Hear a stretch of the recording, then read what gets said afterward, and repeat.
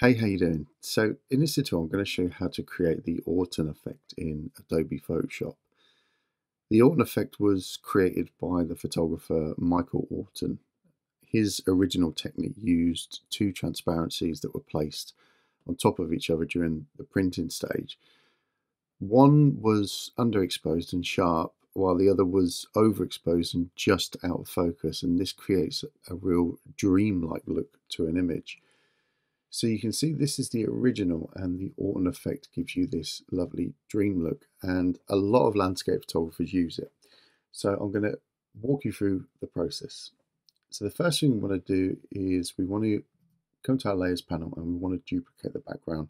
So you can press Control or Command J and that will duplicate your layer for you. You can name this if you want to. So I'm going to call that Orton effect.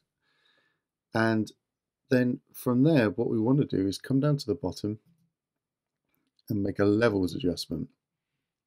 And the idea here is to add loads of contrast. There's lots of ways you can do it. The easiest way is to come up to the default where it says preset and you can increase the contrast here. So I'm going to select increase contrast number three.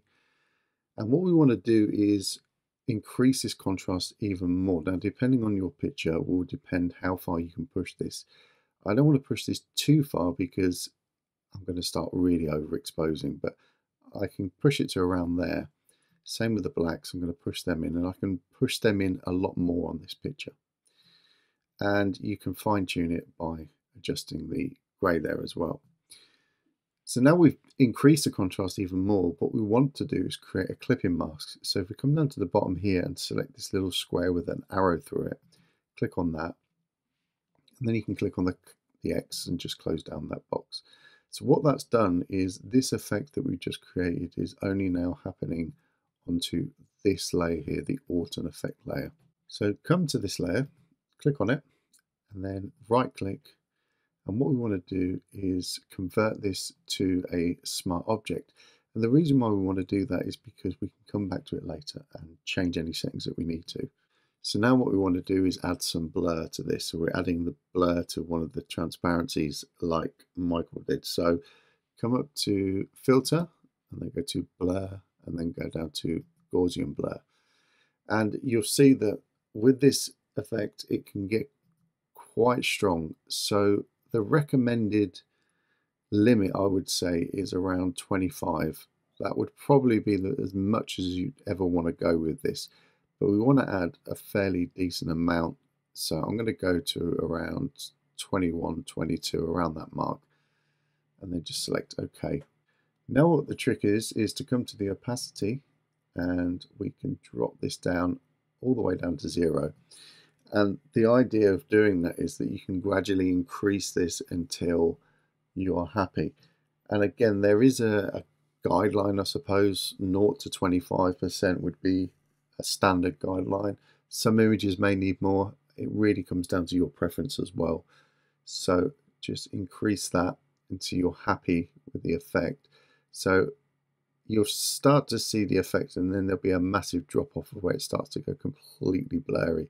So in fact, this one here coming up to 37% still looks okay to me. It might not to others. And you can see as I increase that, that's just going way beyond what I'd want it to look like.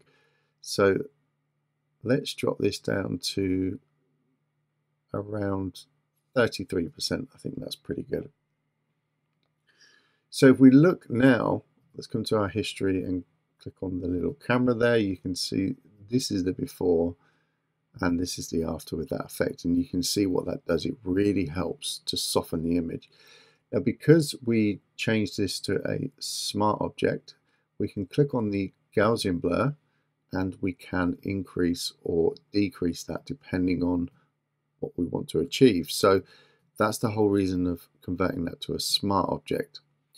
So let's say OK to that. We can also come back to the levels by clicking on them and we can adjust these again accordingly to what we want. So you can really fine tune this now. That looks pretty good to me. So let's come to the history and just take another snapshot. So you can see there's the before, there's the after. So that's the first snapshot that I took with you guys, and then this one is the one that I've just finished. So it's a really, really lovely effect, and it can have quite a dramatic transformation on your images. Now, what I would also recommend is before you do all of this, come to Window and come to Actions and just hit the little record button here. Record all of these steps, then press stop, and then what you can do is create that action so you've got it forever. So if I come back to history, come to the original, all I need to do now with every image that I ever use is come to the Orton effect, click play, and it will do it all for me. I can come into the levels, come to the opacity, and just change that. And I can also come back to the smart filters here and increase any of that. And of course, I can come back to the levels as well. So it gives you full, full control of everything. So I hope you've enjoyed that. I hope that's given you some food for thought. Try it out. It's a really, really cool method. Take care. I'll see you in the next video. Bye-bye.